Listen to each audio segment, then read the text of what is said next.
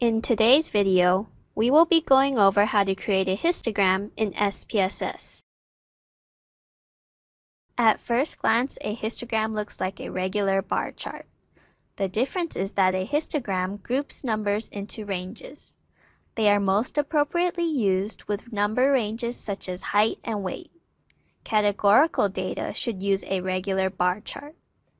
Histograms create a visual representation of the frequencies in your data file.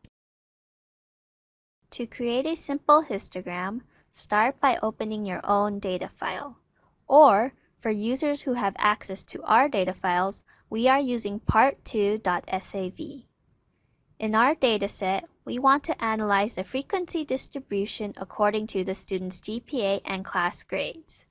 Begin the analysis by clicking on Graphs. Point to Legacy dialogs. And select Histogram.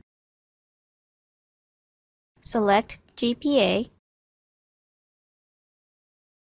and move it into variable using the arrow button. Next, select Grade and move it into Panel by Rows. Paneling allows you to compare different groups of participants in side-by-side -side histograms. You may check Display Normal Curve if you want to compare your data to a normal curve graph. Select OK to run the graph. A histogram demonstrates the skewness of the data, the data density, and the probability distribution.